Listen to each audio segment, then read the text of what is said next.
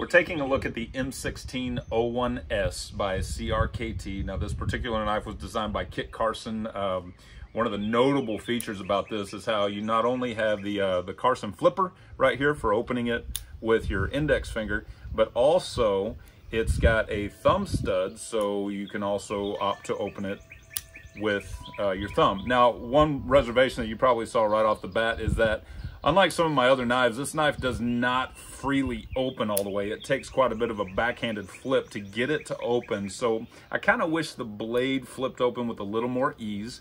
Um, but uh, not not a deal killer killer for me. This is a minimalist knife, which means the uh, the liner, the lock itself is a part of the main body or the handle. There's not a separate liner on the inside.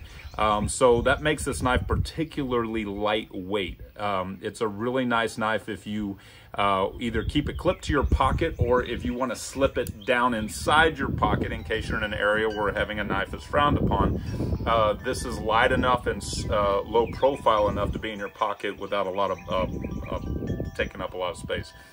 Um, lastly, what I really like about it is the pocket clip, which is reversible. You can take it off and put it on either side for left-handed or right-handed draw.